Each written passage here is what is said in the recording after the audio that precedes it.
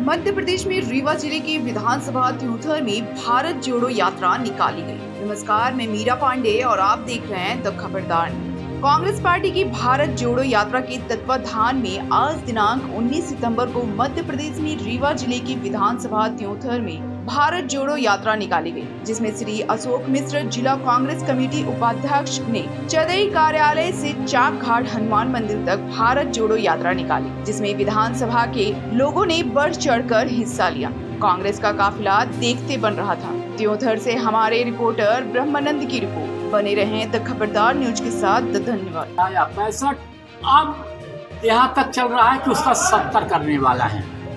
आज कितने बेरोजगार युवक हैं? कम से कम पाँच लाख बेरोजगार युवक हैं अपने यहाँ के। ये पाँच लाख अगर रिटायर हो जाएँ, जो समय पर होते थे, एक बार परिवर्तन हो जाए तो इतने पद तुरंत उसी दिन भर जाएँगे। और सरकार पैसा नहीं दे रही है, इस कारण ये और परेशानी है। आप देखिए, इन्होंने C B I I D इस सब का प्रयोग कर रहे हैं लोगों को दबाने के लिए। अभी मध्य प्रदेश में विधानसभा जो चल रही थे, उसमें अरुणोदय चौबे थे। उनके ऊपर तमाम धाराएँ लगा दी, तीन सौ सात का मुकदमा चलाया और उनको दबाव इतना बनाया कि वो भाजपा में शामिल हो गए।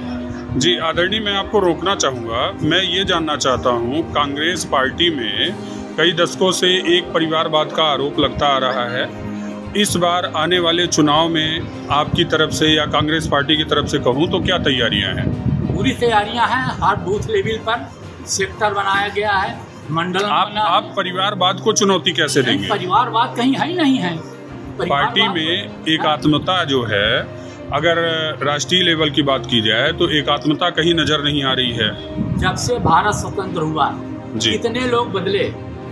तमाम लोग हुए कांग्रेस के अध्यक्ष का हमेशा एक ही परिवार का हुआ? भाजपा में भी तो तमाम लोग हैं वो हैं उनके लड़के हैं उनके नाती भी अब तैयार हो रहे हैं। राजनाथ सिंह जी को देखिए उनका लड़का भी तैयार हो गया। क्या वहाँ परिवारवाद नहीं है? आने वाले विधानसभा चुनाव को लेकर कांग्रेस पार्टी की क्या तैयारियाँ हैं?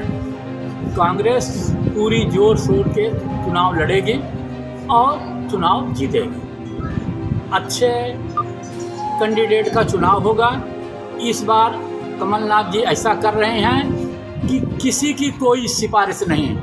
आपा नान कहीं नहीं है।